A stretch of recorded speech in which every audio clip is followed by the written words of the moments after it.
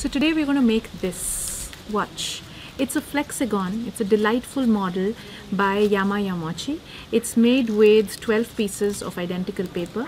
If you're starting the first time, make sure you have relatively hard paper. Print paper would do.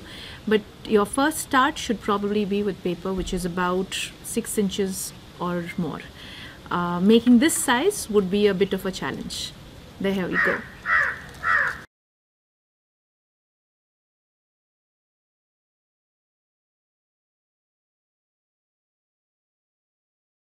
This flexagon called Fireworks is made with 12 pieces of paper. We start by a piece of paper which is about three and a half inches. Uh, we, each, uh, each piece, like in all modular origami, is identical and this is how you start folding. To begin with, make the two diagonals of the square by folding two opposite corners together like this. Like in the water bomb base, turn the paper over and make the plus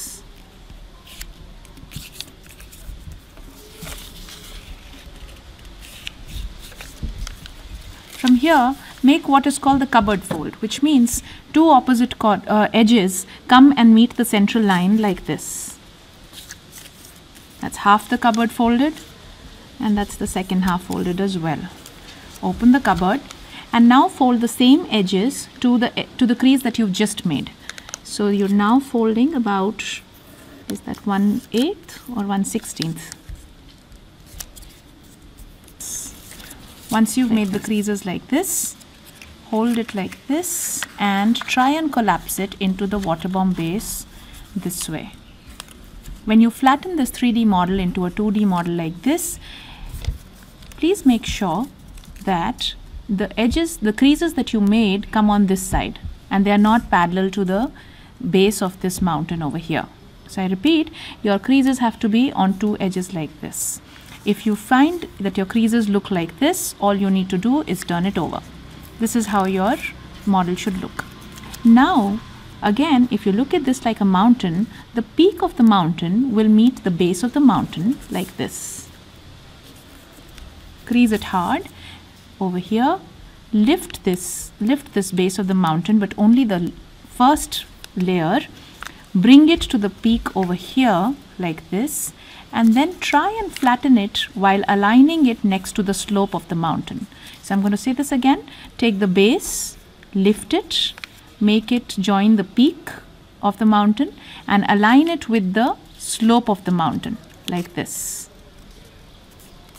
and flatten it. You'll be making two new creases, one here and the other on this side. Do this for all four sides. Second side, turn it over, lift it and crease it like this and crease it like this. So your model will now look a bit like a, a heart. So to make it even more rounded on the top, lift the first layer over here only till the first crease that you've made and try squashing it down.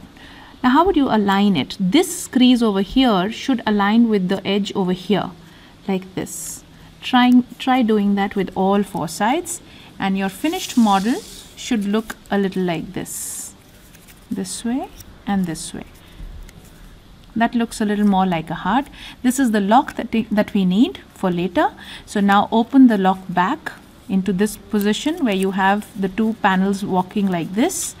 And now we'll proceed into trying to figure out how to fix all of these modules together once all 12 of your modules are ready the fixing is fairly tricky take two of these modules together and focus on what I'm trying to draw your attention to.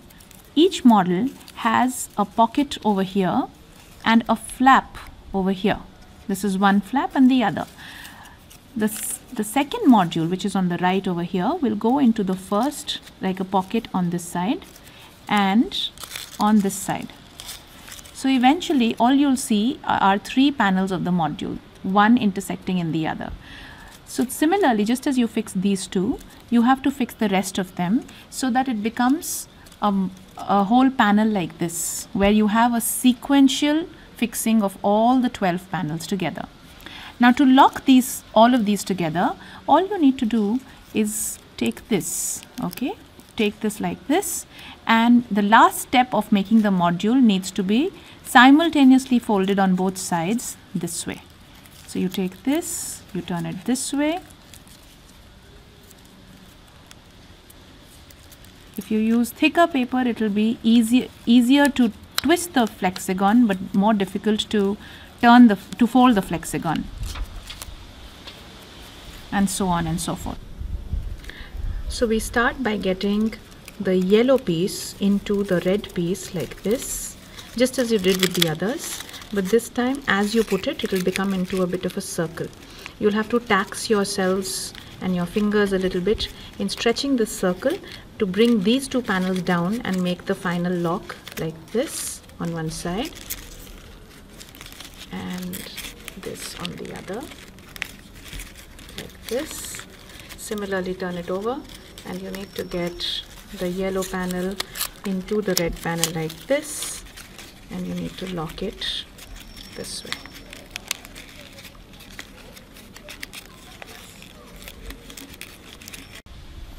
And that's pretty much the end of your flexagon now how does your flexagon move? If you hold any side like this that's your first position turn it over with a little bit of effort till it snaps like this and then it goes on and on and on like this